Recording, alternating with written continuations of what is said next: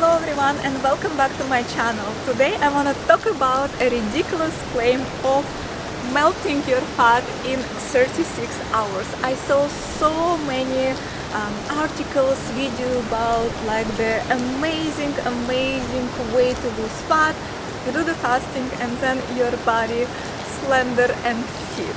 So I done the experiment of uh, 36 hours fasting on myself and uh, keep watching if you want to know a true true result without any BS. So first of all, why did I do this uh, challenge? Of course not to prove the internet wrong, I did for completely different reason. I was actually switching a diet, I'm planning to do a two weeks carnivore challenge. I agreed with my friend, it was a very spontaneous decision. I usually do not approve of any type of like uh, restrictions and diet, but then I thought maybe it could be a very very cool challenge, so I decided like, okay, let's do it. And to do any dietary change, uh, there is no better way than 36 hours fast because it helps you to fully reset your body, clean whatever food left. It's kind of, I see it as a reset button. However, I never saw it as the a great fat burning uh, type of approach. I don't think it's sustainable. I personally cannot do it like every single week. I know there's been like great research about if you do this uh, fasting every other day, you're gonna really burn fat. So it's a great approach uh, for losing the fat, but I don't see it as a sustainable or realistic approach. I, as I said, I personally cannot do it. But what I can do, maybe like um, to do such fasting every now and then, maybe once every six months or once a year. Please keep watching if you want to really see the result, uh, like how much fat I burn after this challenge. But before that, I would like to share um, how you do the 36 hours fasting. It's actually very very easy. It's mostly it's not a physical pain, it's mental pain because we all got used to have like a breakfast at certain time, lunch, lunch at certain time, dinner and so on and so forth. I personally don't have a problem to do not eat my breakfast in the morning, but I know some people that are actually like waking up and running to eat their cornflakes or whatever they like to eat. To me, it makes no sense whatsoever, but uh, yeah, whatever works for you, works for you. The point is uh, the main challenge of this 36 hours fasting, it's just like a mental game. So I got some tips for you if you decide to do the challenge. Uh, my first tip is no prepping. I know so many people they say like you have to prep for 36 hours challenge. Oh my god, don't prep. Because the more you're gonna think about it, the more your mind gonna tell you that it's absolutely terrible idea, it's not the right day to do it, uh, you don't feel probably well. So you could even like um, like without even having any problems with your body you could attract you know with all the thinking all the kind of like feeling not well maybe today type of thoughts uh, yeah. No prepping. Don't overthink it. Just go for it. And if you have like such days as uh, you know when uh, you're very busy you have lots of meetings just like go straight to 36 hours of fasting like just don't eat. Like when you come back home if you didn't have time to eat during the day don't worry so much. Like nothing gonna happen to you if you don't eat. Just drink water drink liquids. I think this is the most important. The other thing um, what helps me like with this like mental game uh, instead of having breakfast I can have um, usually I like to have water with lemon in the morning and I keep doing that so I don't like um, this during my fast I don't break my fast this way. Uh, I know it's like a bit controversial. Some people argue you will break some people say you don't. I personally don't feel my body starving after I have water with lemon.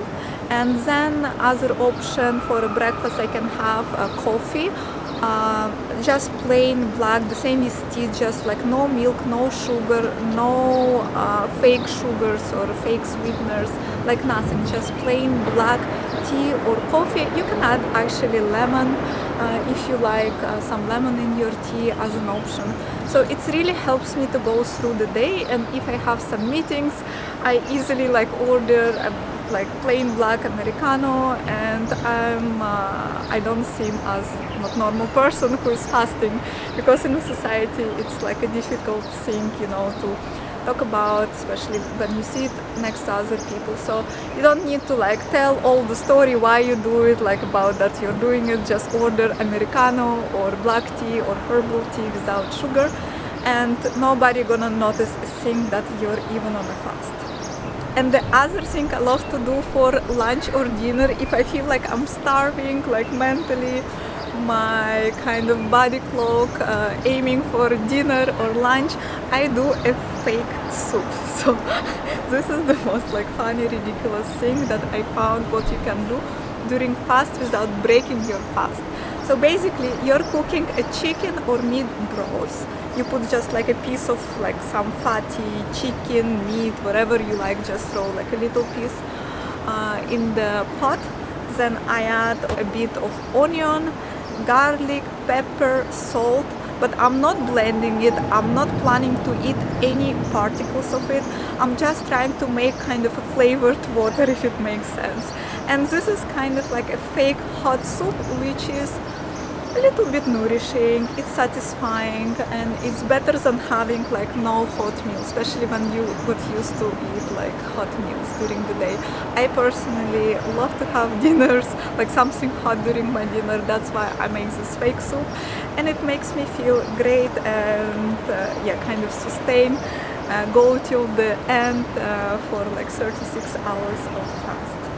So what's the result? So I did this fast just yesterday. I completed this morning. So I just broke my fast a couple of hours ago. Before the weekend, uh, my weight was 58.5 then I ate lots of crazy stuff during the weekend uh, cookies, burgers, you name it, whatever I wanted to eat. I didn't know that I'm going uh, to fast uh, on Monday. Uh, it was just like kind of my regular weekend, uh, yeah, without like any preps. I actually decided that I will be fasting actually on Monday morning because I wasn't sure like how I will feel and I decided like just let's carry on and do cleanse day. So on Monday morning my weight was after this crazy weekend burgers, cookies like and uh, all the chocolates of the world my weight was 58.6 yes. I gained like 100 grams. And this morning so exactly after 36 hours guess what my weight was? I was absolutely shocked. I did not expect that. I did so many fasts. And that was the most disappointing result. I mean, I know like I did the cleanse, I did it for absolutely different reasons, this 36 hours of fast, but my body weight was at 58.5 so I didn't lose a thing and um, logically you know like when people say like oh you're gonna melt your fat in 36 hours really if you have a little bit of uh, brain, you went to the school, you learned math, you can calculate how much of real fat you're gonna lose. So let's calculate together just like to make it like, uh, you know, the numbers usually kind of helps us to represent the real situation. So in one kilo of fat is around 7,000 calories. So for you to burn one kilo of fat you need to burn 7000 of extra calories during the day.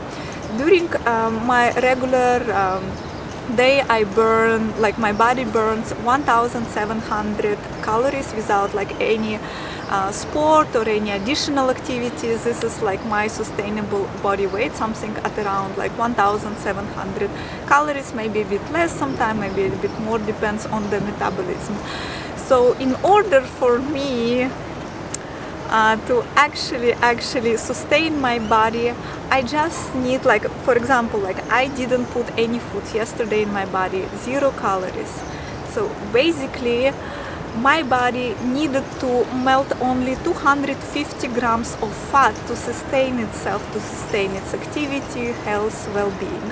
So basically, even though the scale didn't show any changes, um, the fat for sure, like the pure fat, went down probably like because I had lots of water yesterday. Uh, also, I forgot to mention you can have water with salt, and it help if you have a headache. It would help with your headache, and the soup. Uh, which has this fake soup which has salt it also helps you know to get like electrolytes and uh, sustain your like well-being clear head um, yeah that's like a really helpful tip that I forgot to mention. This is how my experiment went and this is how much of uh, fat I really burn. When you fast you also become a bit younger, you remove all the dead cells from your body, that's why I actually love to do it. Like the body starts uh, rejuvenational processes, uh, cleans all the bad things out of your body. For that reason fasting is absolutely great thank you so much for watching the video and I will see you on the next one. I have to really now run home. Oh, and my work timer is yeah, is on. So the rain is already starting and any minute it could be like pouring. So yeah, let's run home.